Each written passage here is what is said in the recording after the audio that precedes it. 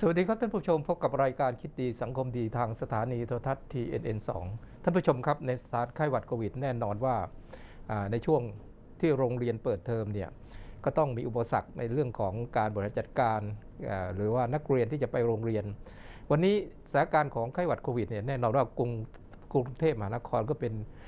เมืองหลวงของประเทศเป็นเมืองใหญ่นะครับ การศึกษาก็จะเป็น center รวมศูนย์ วันนี้ประเด็นที่น่าสนใจคือการสนทนาเนี่ยในเรื่องของโรงเรียนสกัดกทมกับการบริหารจัดการ ในสถานการณ์ไข้หวัดโควิดเอ่อ19 นะครับ แขกรับเชิญก็ได้แก่ท่านผู้ในวยการสำนักการศึกษากทมคุณเกรียงไกรจงเจริญ สวัสดีครับท่านผอครับครับ สวัสดีครับครับพอพูดถึงสถานการณ์ไข้หวัดโควิดแน่นอนเรื่องการศึกษาเนี่ย ย่อมเป็นอุปสรรคกับนักเรียน ไม่ทราบว่าภาพองค์รวมของโรงเรียนกรุงเทพมหานครเนี่ยเอ่อมีโรงเรียนมากน้อยขนาดไหนในแต่ละเขตครับ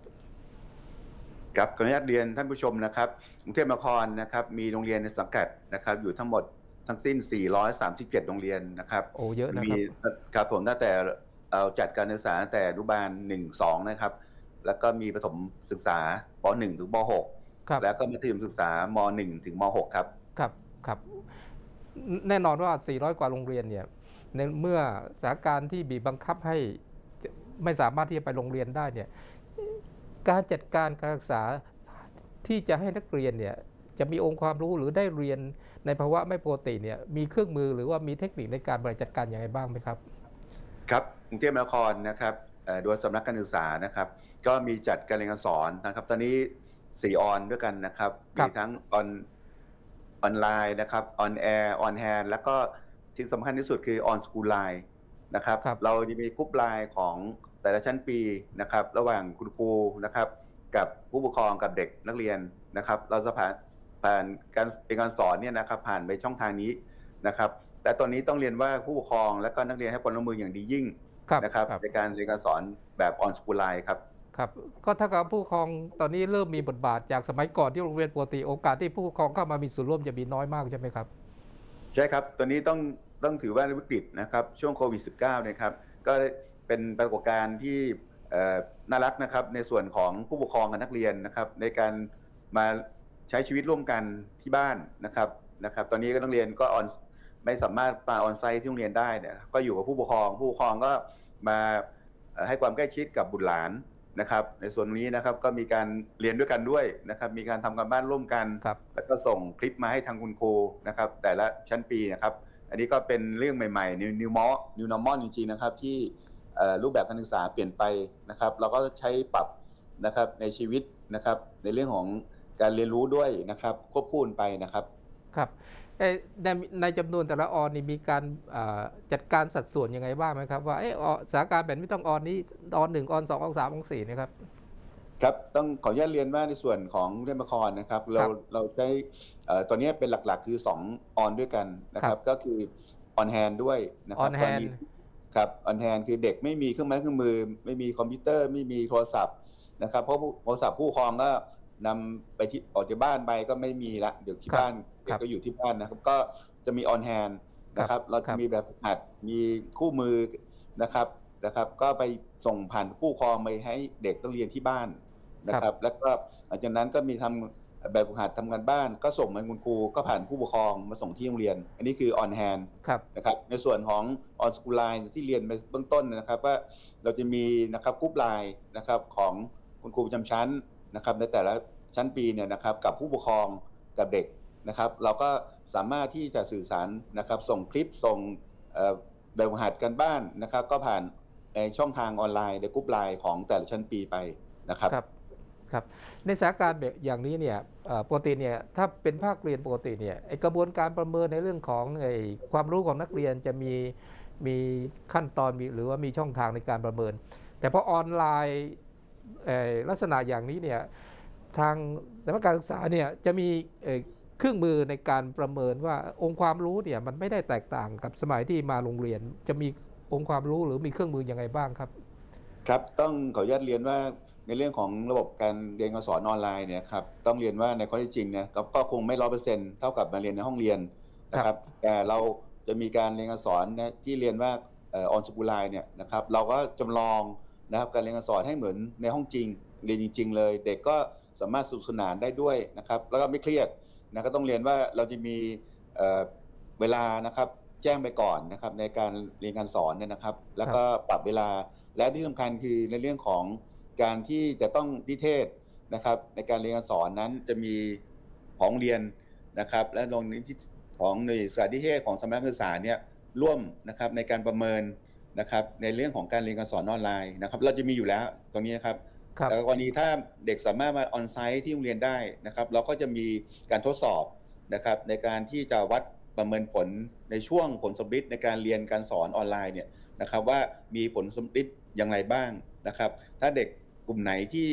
ยังตามเพื่อนไม่ทัน เราก็จะมีการโคชชิ่งเราก็จะมีคุณครูนะครับ แยกเด็กกลุ่มนั้นเพื่อที่จะมาติวเข้มนะครับ มาสอนเสริมนะครับ เพื่อที่จะให้เด็กนะฮะกลุ่มที่ไม่ทันเพื่อนเนี่ย นะฮะให้อยู่ทันเพื่อนให้ได้นะครับ อันนี้ก็เป็นมาตรการต่อไป แต่ในส่วนของช่วงออนไลน์เนี่ยเราก็จะมีการประเมินอยู่แล้ว โดยครับทางคุณครูประจำชั้นนะครับ ก็จะประเมินกับเด็ก ๆ โดยตรงเลยนะครับครับครับอย่าง onsite นี่มีการกำหนดความถี่ไหมครับว่าในหนึ่งเทอมเนี่ยควรจะมีการ onsite ทุกเดือนหรือเดือนละกี่ครั้งจะมีการกำหนดตารางพวกนี้หรือเปล่าคือต้องเรียนว่า onsite นะครับก็ด้วยความปลอดภัยชั้นสูงสุดนะครับครับในส่วนครับตรงเนี้ยนะครับคงไม่ยังไม่สามารถทำได้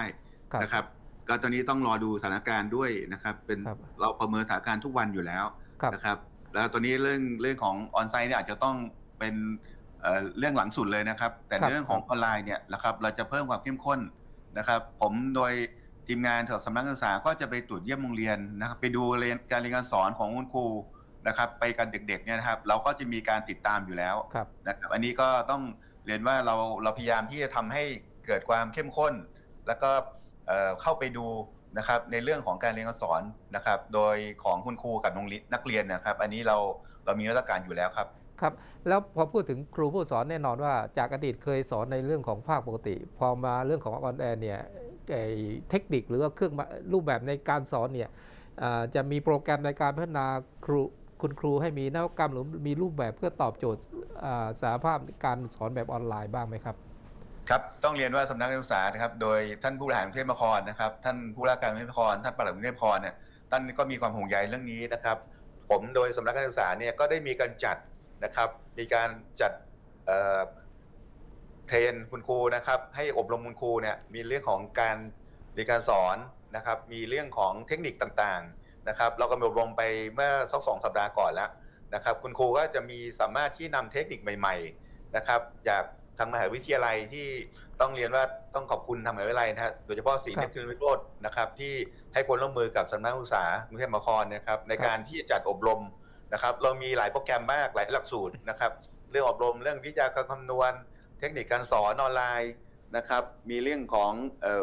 การปฐมวัยนะครับ เรื่องของการศึกษาพิเศษเนี่ยเรามีหมดเลยนะครับเราอบรมไปเป็นระยะระยะอยู่นะคุณครูก็เข้ามา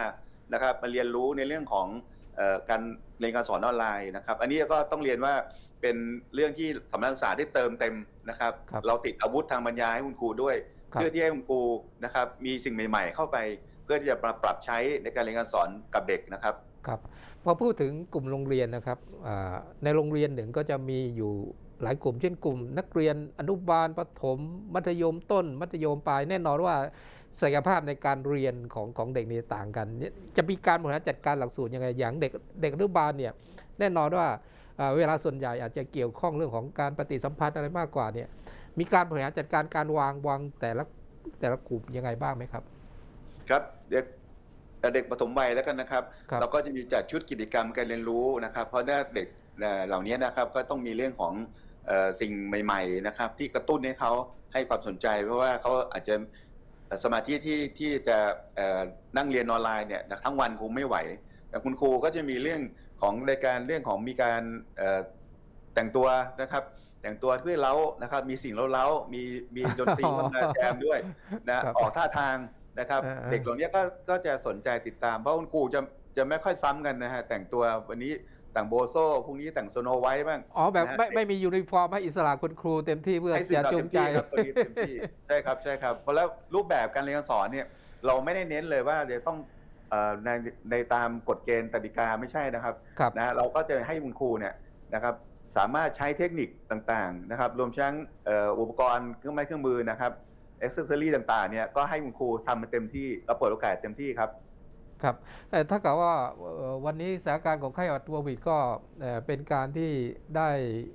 ได้เตรียมความพร้อมว่าอนาคตเนี่ยโลกเข้าสู่เอ่อ disruption เนี่ย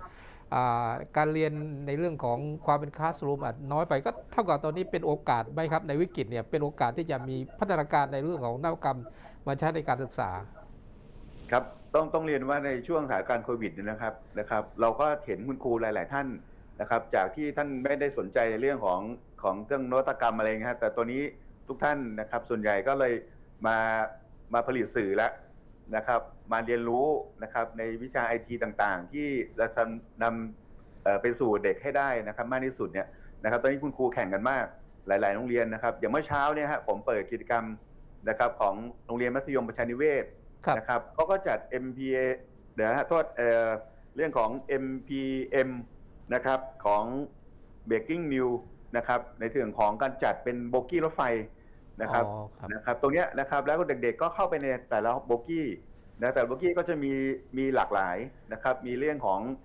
TikTok ก็มีนะครับเรื่องของการคิดคำนวณนะครับเรื่องการประกวดต่างๆ เด็กก็เข้าไปอยู่แต่ละห้องในโบกี้นั้น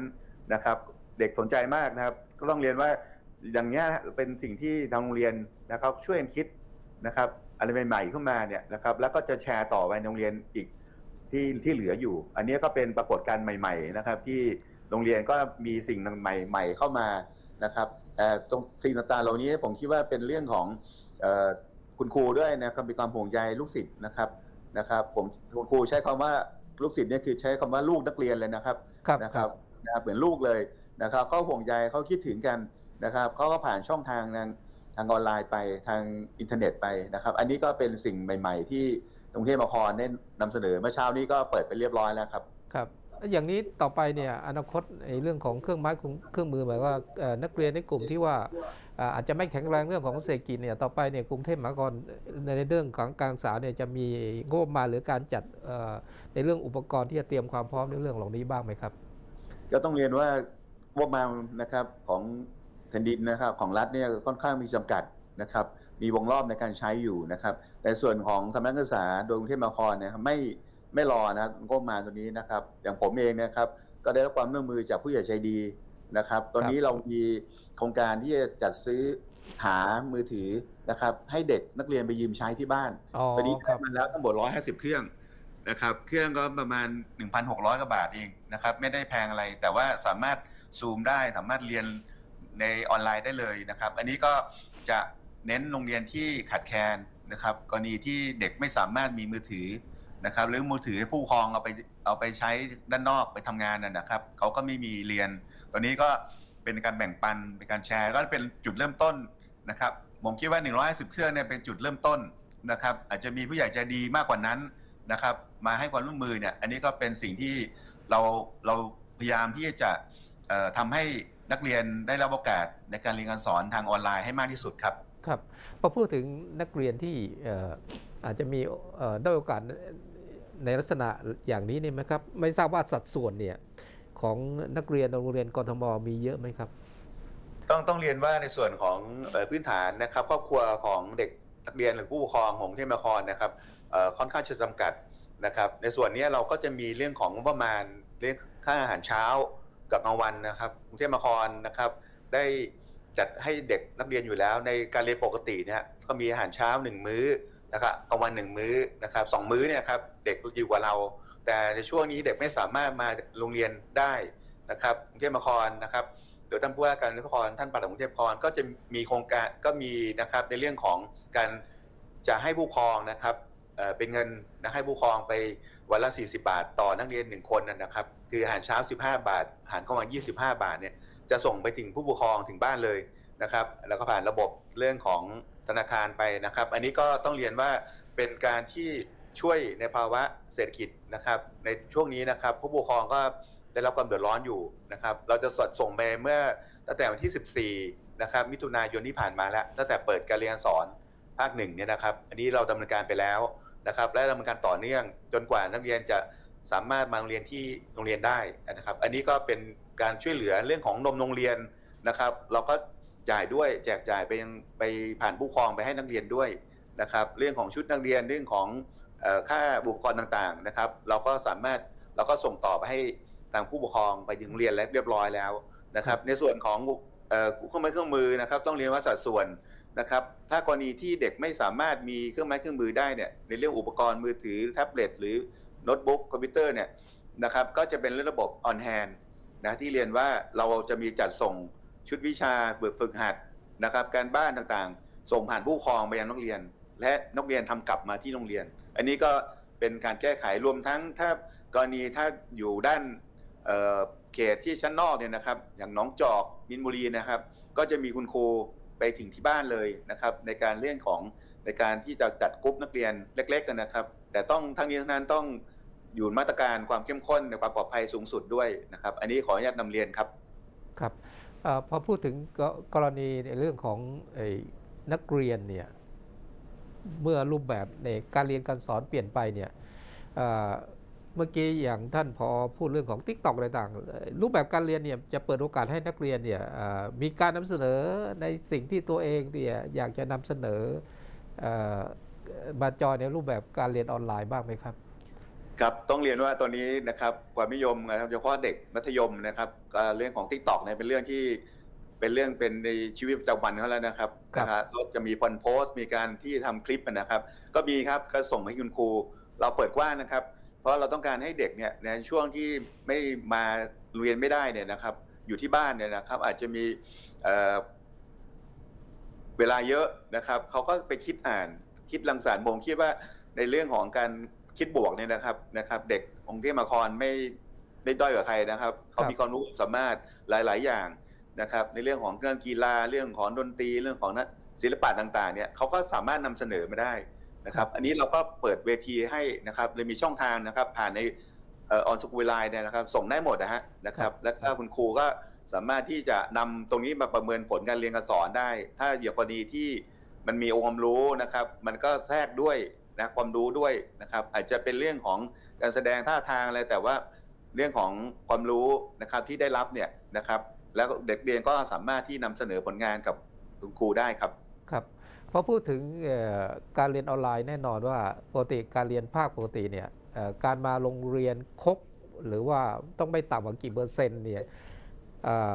มีการยืดหยุ่นไหมครับ หรือว่าการเรียนออนไลน์เนี่ยในเรื่องของจะต้องแต่งชุดนักเรียน หรือว่าอิสระเสรีมันมีภาพภาพเหล่านี้ยังไงบ้างไหมครับ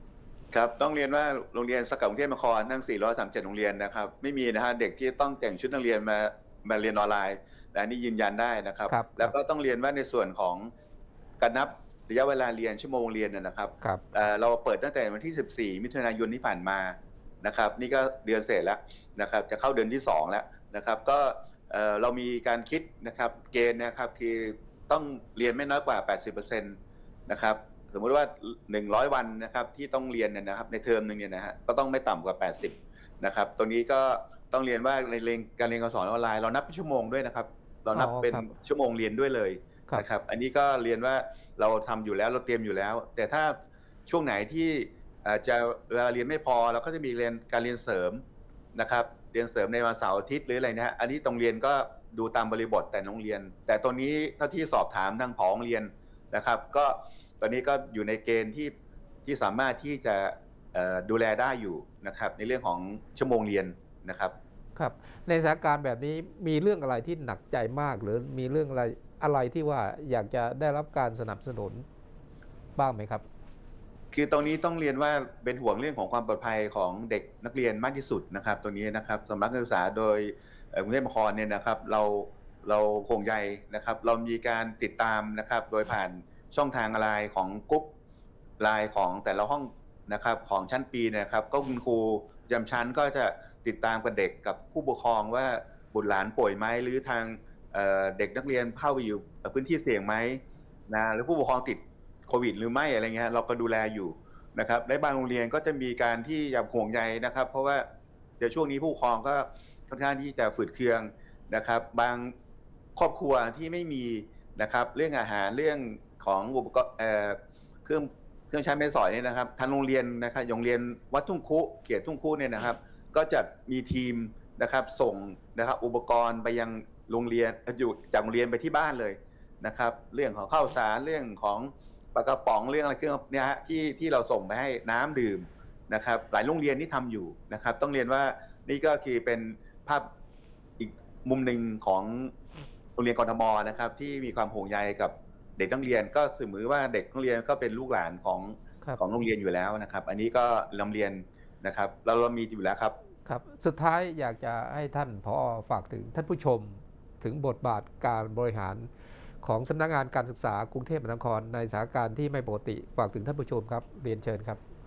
ครับต้องขออนุญาตช่วงท้ายนี้ก็ต้องขอบคุณนะครับ ทางรายการที่ให้โอกาสทางสำนักศึกษามานะครับพูดคุยสื่อสารนะครับ ต้องเรียนท่านผู้ปกครองทุกท่านนะครับเอ่อทางสำนักศึกษาโดยกรุงเทพมหานครนะครับ ก็มีความกังวลมีความห่วงใย นะครับในเรื่องของสถานการณ์นะครับโควิดนะครับที่รุนแรงอยู่นะครับ แต่เราก็ทั้งนี้ทั้งนั้นเราก็ต้องพลิกวิกฤตให้เป็นโอกาสนะครับ เราเลยถึงมีการเรียนรู้นะครับในการเรียนสอนในเรื่องของออนไลน์นะครับ โดยที่นักเรียนไม่ได้ไม่ไม่สามารถมาโรงเรียนได้เนี่ย แต่เราก็ไม่อยากให้องค์ความรู้หรือความรู้ต่างๆ มันลดน้อยลงไปนะครับ หรือหายไปนะครับ เราก็จะมีการกิจกรรมใหม่ ๆนะครับ แต่ต้องทั้งนี้ทั้งนั้นต้องขอบคุณนะผู้ปกครอง ทุกท่านนะครับที่ให้ความร่วมมืออย่างดียิ่งนะครับกับทุกโรงเรียนในโรงเรียนสังกัดกรุงเทพมหานครนะครับที่จะทำให้บุตรหลานของท่านนะครับ ในช่วงวิกฤตนี้นะครับได้มีความรู้ด้วยนะครับได้มีความสุขมีความปลอดภัยนะครับ อันนี้ก็เป็นเรื่องที่อยากจะสื่อสารแล้วก็แล้วก็ด้วยความห่วงใยนะครับ ว่าเอ่อฝากทุกท่านช่วยดูแลบุตรหลานนะครับ ในเรื่องของเออการออกนอกบ้านหรือไปพื้นที่เสี่ยงนะครับ อันนี้เราก็อยากจะให้นักน้องนะครับมากลับมาสู่โรงเรียน นะครับโดยเร็วนะครับ แล้วก็ดูตามสถานการณ์ แล้วก็คิดว่าอีกไม่นานคงได้พบกันนะครับตามโรงเรียนแล้วก็ทางผมและทางทีมงานก็จะไปเยี่ยมตามโรงเรียนเหมือนปกตินะครับ ขอบคุณนะครับ ขอบคุณทุกท่านนะครับครับก็ขอขอบพระคุณท่านผู้อำนวยการเกรียงไกรเป็นอย่างมากนะครับ ก็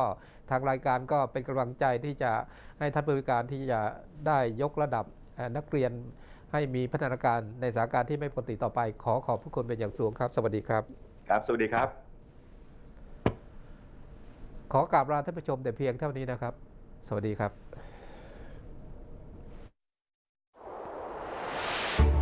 แรงบันดาลใจ จินตนาการ ความคิดที่เป็นเลิศต้องมาพร้อมกับความใส่ใจ ยิ่งคิดใหญ่ ยิ่งต้องใส่ใจสิ่งที่เล็กที่สุด เพราะความใส่ใจจะสร้างสิ่งที่มีคุณค่าให้อยู่ตลอดไป นี่คือมาตรฐานของเรา มาตรฐานสิ่ง